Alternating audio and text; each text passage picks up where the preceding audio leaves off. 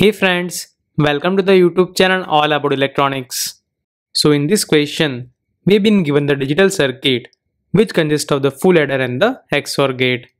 And here, the X, Y and Z are the input to the given circuit. So here, the Z input is connected to the carry in input of the full adder. And we have been given that the Z input is permanently set to the logic 1. So here, we've been asked to find the function of the given circuit when the X and Y are the inputs of the circuit. So let us find that. So here, we have been given that the Z input is permanently set to the logic 1 and this 1 is also given to the carry in input of the full adder. So here for the XOR gate, the one of the input is equal to 1 and the second input is Y. So for this XOR gate, if P is the output, then it can be given as this Y bar dot Z plus Y dot Z bar.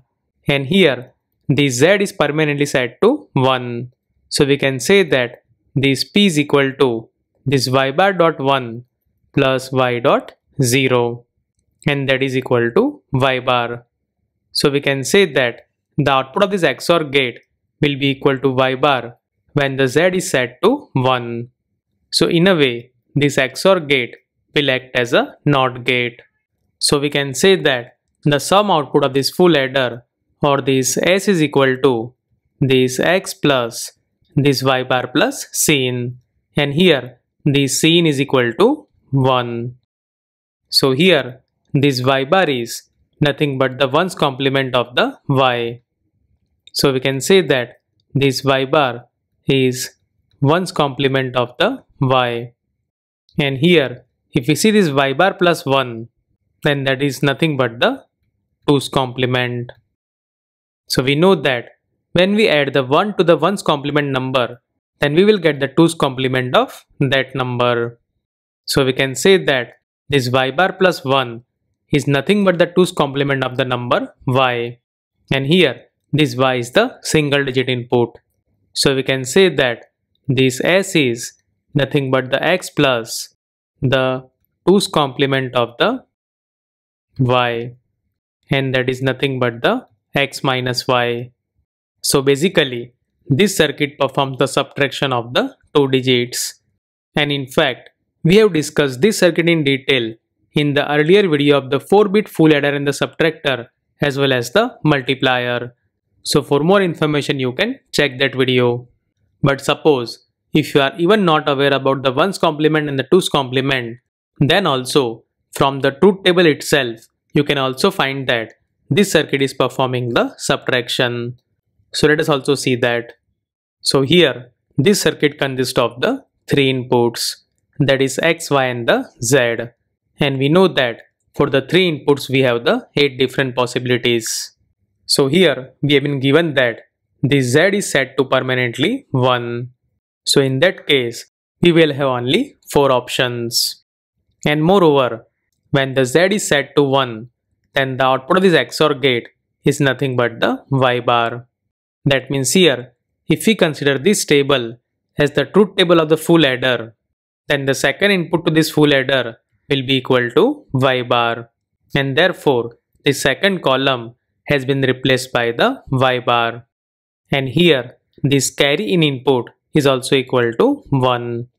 So now, for these four different input combinations, if we perform the addition then for the first combination, the sum output will be equal to 0 while the carry output will be equal to 1. Similarly in the second option, for the 0 plus 0 plus 1, the sum output will be equal to 1 while the carry output will be equal to 0. Likewise, in this third case, the sum output will be equal to 1 while the carry output will also be equal to 1. And similarly, for the last possible input combination, the sum output will be equal to 0 while the carry output will be equal to 1. So here for the given circuit, we've been asked to find how this circuit will function when the x and y is used as a input. So here for the given circuit, the actual inputs are x and y. That means to actually see how this circuit perform, we need to replace this y bar column with the y. So with that if you see, then for these possible combinations, the x and y inputs are 0, 0, 0, 1, 1, 0 and the 1, 1. So we know that the 0 minus 0 is equal to 0 and therefore this column will perform the subtraction. Likewise, this 0 minus 1 is equal to 1. Similarly, if we see this third row, then this 1 minus 0 is equal to 1. And likewise, this 1 minus 1 is equal to 0. That means here, this column is performing the subtraction. And here, basically to perform the subtraction, since we are using the 2's complement of the one number, so whenever there is a carry, we will neglect it. That means here, whenever there is a carry, it will be neglected and whenever the carry is 0, then it indicates that the output is the negative. Because here, in the case of the 0 minus 1, although we are getting the 1 as the output, but it indicates that the output is the negative. So in a way, this circuit is performing the subtraction. So even if we are not aware about the concept of the 2's complement addition and the subtraction, then also from the truth table also we can find that the given circuit is performing the subtraction. And from this we can say that for the given circuit, this B is the correct answer.